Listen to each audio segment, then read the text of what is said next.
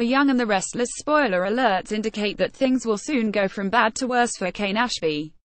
According to Celeb Dirty Laundry, Lily will remain at his side during the crisis which indicates it will not be related to the divorce. For now, the proceedings have been put on hold because of Juliet's death and the premature birth of her son. Spoilers suggest that the drama will center around baby Sam's.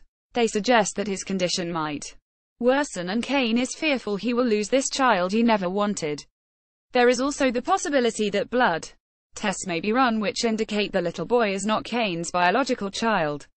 Lane fans continue to believe the baby is not Cane's. A blood test concluded that Cane was the father of Juliet's baby, but Lane fans continue to doubt. One reason is that Y&R has never satisfactorily explained Jane's one-time tryst in Tokyo. Juliet was seen helping Mr. Ashby to his hotel room and later getting up from the same bed that he was sleeping on. Conveniently Ms. Helton left an earring in the bed and her negligee was placed in Cane's suitcase. This looked suspicious, and increased the sentiment that she had staged the entire event. There is also the fact that Mr. Ashby was so drunk on sake he did not even remember sleeping with Juliet.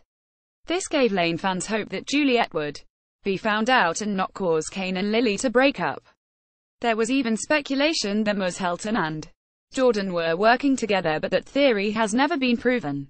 Now that Juliet is dead there is only one way to indicate a fraud has occurred. If Cane's world is going to come crashing down it possibly could happen.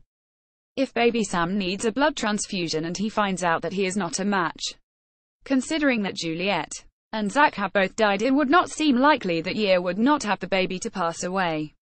Also, Cane and Lily may reunite now that Juliet is no longer in the picture it may be easier for Lily to forgive her spouse, and possibly offer to co-parent the child if he survives. Should baby Sam turn out not to belong to Cane, his wife may still offer moral support. Whatever happens, to turn his world upside down will be easier knowing his wife is standing by him. This could be just the break that Lane fans are looking for video, and perhaps their favorite couple will get back together.